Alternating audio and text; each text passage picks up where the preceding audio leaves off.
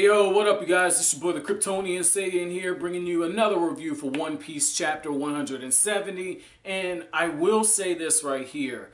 The obvious trolling aside, which I give a double fuck you to Oda for, but the obvious trolling aside, there was some great character development in this chapter. Plot progression, okay, decent, not the best, but the character development really stood out to me. In particular, you see development on Zoro's side, you see it on Usopp's side, and you definitely see it on Nami's side. This was this was a good chapter simply from a craft perspective when you look at character development. And I'm gonna start off with Zoro. Now the thing about Zoro is is we know that he turned down an invitation from Baroque Works before, and we know that he was this famous pirate hunter, but we've never really just gotten into his uh, pirate hunting past like that. Like we just know that you know he was gonna be the greatest swordsman because the girl he trained with died, and we know that that whole pledge to be the greatest swordsman, you know, after he got beaten by Mihawk, we know that type of stuff was happening. However, what I found very interesting is the fact that he said, "I'll join Baroque Works if you make me the boss." That is some straight ballsy shit. Like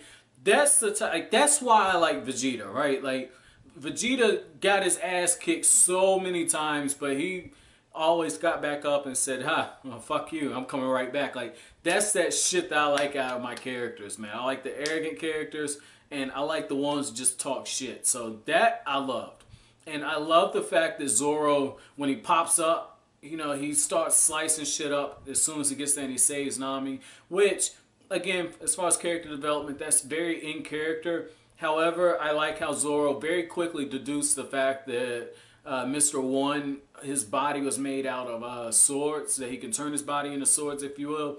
And so it's a battle of swordsmen in a way, only it's a little different. I, I think this is the first devil fruit user Zoro has encountered who actually uses swords. So this is going to be this I'm I'm gonna be interested for this. Now, I like what Oda did. You know, Oda did something similar with Sanji, where you had somebody with a similar fighting style. Now you have it here, and then when you look at Nami, it's the same thing. Nami is fighting someone with a similar style. You know, sneaky, sneak up on you, spikes.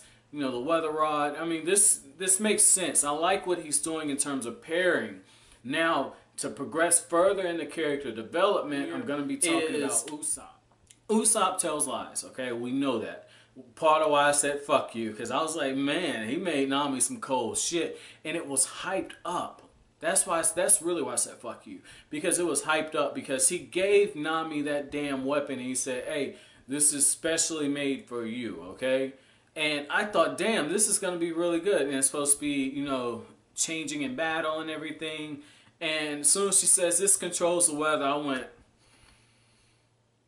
Oh shit. This is one of those Usopp classic tales, but given the way that Oda's done this shit in the past where Usopp says, Yeah, I ran into an island that was really goldfish poop and then we actually saw it. So I'm thinking Nami's gonna get this weapon later on down the line or this ability or some shit. Like it wouldn't surprise me given the way devil fruits are like fucking super saiyan transformations where everyone has one. It wouldn't it wouldn't surprise me if Nami ate a fucking devil fruit and that that ended up being a power that she can change the weather and it fits right into the whole thing of her being Luffy's navigator. I could totally see this shit. I could see this being foreshadowing, but how Usopp got his character development is we know Usopp experiments and he makes his different exploding stars, but we actually saw him in his element and we saw that he takes great pride in his work. Like we know that you know the storytelling and everything it that's his character. Lies, if you want to call him that. But for the most part, I haven't really seen him as far as the pride aspect. Yeah, pride in Syrup Village, but like pride, pride. And just seeing this, he takes a step further because he tells Nami, hey, are you saying I can't make this? You're really saying I can't make this. It's almost like he was saying, bitch, get the fuck out of here. Kind of like how uh, Mr. One was like, I can't stand chasing after this chick. Bitch, come over here. It's just like the Mortal Kombat dude, uh, Scorpion, was like, get over here. That type of shit. So that was cool. I like seeing that part with Usopp, and it really makes him relatable because when I see Usopp doing that, you know, he's already in his element working. He's trying to do something to help his crewmate. You know, Nami gives this uh, little conversation speech, if you will, basically saying that she doesn't want to be useless and she wants to be able to help others in battle. And that leads me into Nami's whole character development. But Usopp wanting to help, even if he trolled her, that that's a step forward for his character. As far as Nami is concerned, great character progression because we see the internal monologue she has after she runs away where she's like, look, like I Vivi is, you know, fighting for a country. My crewmates are fighting. I don't want to have to depend on other people. And you can just see her building up her courage. And if you just look at it from a pacing perspective, we're not that far removed from Arlong Park. And I think that that is huge because the thing with Arlong Park is we saw Nami's character kind of change. And we find out, oh, she's double agent, but you know, Luffy ends up getting her back. But in the head, like I don't know how much time has passed. I would guess a few months. But the thing is, is just from a storytelling aspect, it hadn't been that long ago. So Nami, for the most part, could still be, I wouldn't say under Arlong's control, but still suffering from some self-esteem issues from that. You know, like her character's still being built up. So just to open the chapter and to see Nami saying, I can't run anymore. I have to fight these guys and look and then run again. It, it's very in character because Nami, for the most part, she's been running ever since we got introduced to her. You know, either running towards uh, the next treasure, running from her past uh, with Arlong Park, running from what she had with Bell, running from Luffy. Like she's always been running in some figurative stance, and just to see her finally get that point she stops running and then she gets met head on.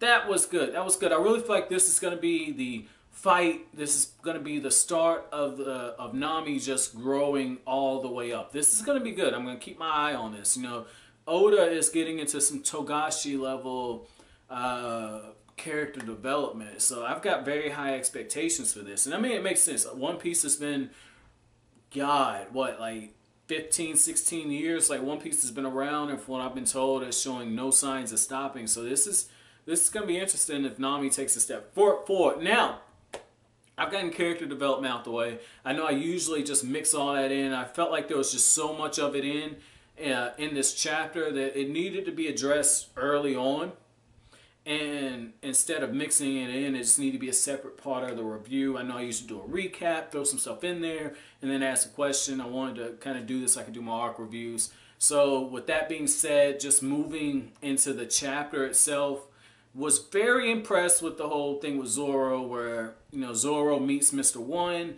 Mr. One says, "Yeah, I ate the devil fruit," and Zoro isn't backing down on that. That was that was cool. I don't expect Zoro to run from a fight, but knowing that he's fighting a devil fruit user and really just knowing the fact that it's another swordsman and this is the highest ranking member, it's going to be very interesting to see how Oda puts this up. Is Zoro going to struggle with him?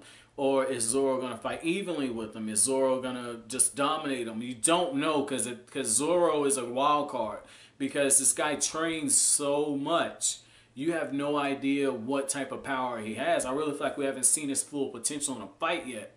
You know, when you make certain decisions, like he did against Buggy the Clown, he made certain decisions and got stabbed, so he couldn't fight at his full potential. Same thing with Arlong Park. I don't feel like we saw him at his full potential yet because he made certain errors beforehand. With Nami being out of the way and with him fighting on his own, and nobody to kind of hold him down. I could see Zoro going all out and maybe even dominating this guy. So this is going to be cool to go forward and see. You know, I did say that I felt like Usopp doing the whole uh, weapon with Nami was trolling, but I laughed my ass off. Like when Nami is like, oh, this controls uh, the sun, and then fucking pigeons fly out. This is a storm weapon. And then fucking flowers come out. Nami slams that shit, and Miss Doublefingers is like, this poor girl. And Miss Doublefinger's ability, I said it was similar to Nami with the spikes and stuff, or with the with the staff she has. Well, with the spikes, the reason I say that is is once again, this is a dueling type environment. You know, like the only difference is is uh, Miss Doublefingers, she can fire those damn things like projectiles. And Nami can kind of swat them down with a staff. I mean, this this is interesting. This has a lot of potential. I really feel like this could fuck around and be one of the most underrated fights. And really, it's just 190 chapters and the 189 chapters before this. I really feel like this has some potential. I'm not too sure. This isn't my Nami bias in here, but any fight that shows character progression or shows the hints of it, you have to pay more attention to it as a reader, and especially when you read it critically, because it's fights like these, particularly in shonens, that make the characters and set them on the trajectory that's gonna make them the character they are headed into the final arc of the of the manga. I know I'm nowhere near that, but it's just something to keep your eyes on. So my chapter question for you guys, uh, I would say what did you think about Nami and her going to Usopp and just wanting a weapon and wanting to be able to contribute in some type of way? And what did you think about Usopp trolling her? But as always, guys, if you like anything I had to say, hit that like button, comment, rate, subscribe, share. I'll greatly appreciate it. Again, I know this is a little unorthodox for these chapter reviews, but I just had to make a change for this one. But that's it. Thanks for watching.